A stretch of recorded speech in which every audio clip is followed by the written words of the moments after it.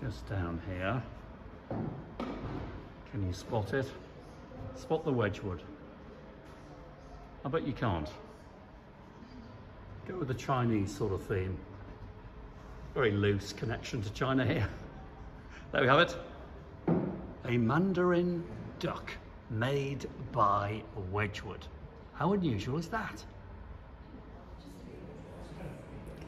Yeah, so there you have it. Designed by a chap called Alan Best in around 1935, so made just before the beginning of the Second World War. And it's a, a Mandarin duck, a Chinese Mandarin duck, but made by Wedgwood and, of course, impressed Wedgwood. I don't think, there it is, I don't know whether you can see it, hang on.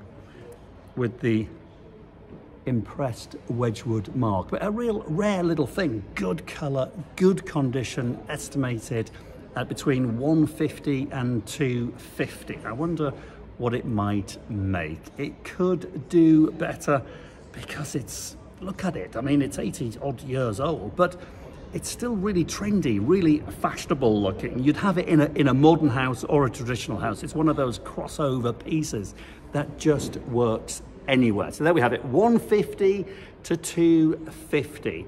How much do you think it'll sell for?